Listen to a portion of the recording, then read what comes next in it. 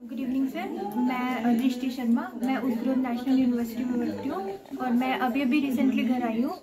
तो वहाँ पे हमारे मतलब बहुत मुश्किल से निकल के आए हम वहाँ से। बच्चे काफ़ी हम फिर भी वेस्टर्न साइड पे थी, इतनी दिक्कत नहीं थी, पर जो बच्चे अभी खारकिव सुम्मी उड़ीसा यूनिवर्सिटीज़ में उनकी बहुत दिक्कत है, अभी भी बच्चे वहीं स्टक है।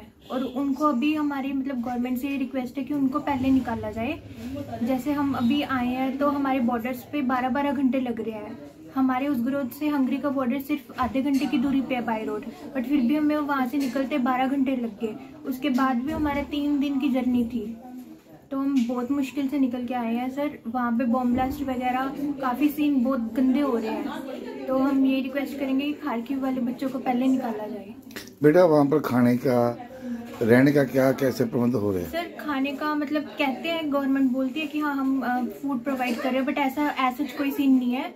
हम जैसे हंगरी बॉर्डर पे बैठे थे बॉर्डर पे हमें कुछ नहीं मिला बसेस वगैरह में कुछ नहीं प्रोवाइड हुआ बट एयरपोर्ट पे जब हमारा प्लेन फ्लाईओवर करने वाला था, उससे जस्ट हाफ़ एन आवर पहले जस्ट एक प्लेट छोटी सी चावल बॉइल्ड ऑयल बॉइल्ड राइस की मिली थी, और कुछ नहीं मिला हमें।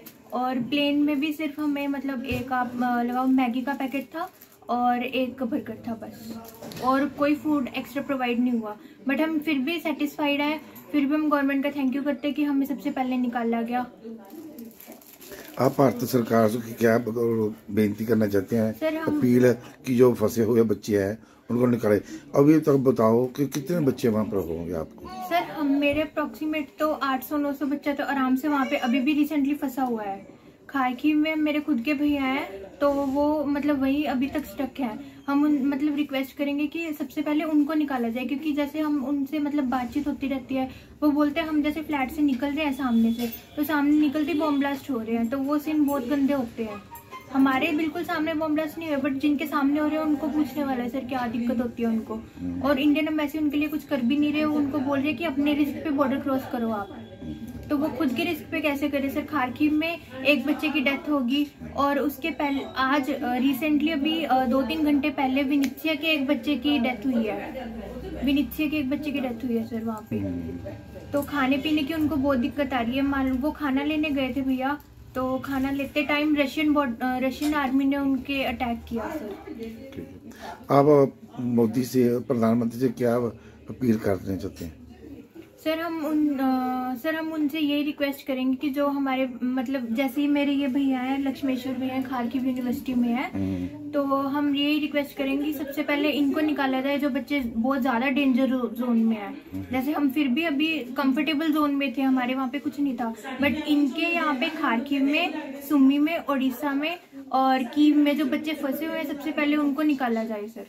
ये रिक्वेस्ट करते हैं। ਠੀਕ ਹੈ ਜੀ। ਤੁਸੀਂ ਜਿਹੜੇ ਬੱਚੇ ਰਹਿੰਦੇ ਆ ਉਹਨਾਂ ਬਾਰੇ ਤੁਸੀਂ ਕੀ ਕਹਿਣਾ ਚਾਹੁੰਦੇ ਹੋ ਅਪੀਲ ਅਸੀਂ ਇਹ ਕਹਿਣਾ ਵੀ ਜਲਦੀ ਜਲਦੀ ਉਹ ਵੀ ਆਪਦੇ ਮਾਪੇ ਦੇ ਘਰੇ ਆ ਜਾਣ।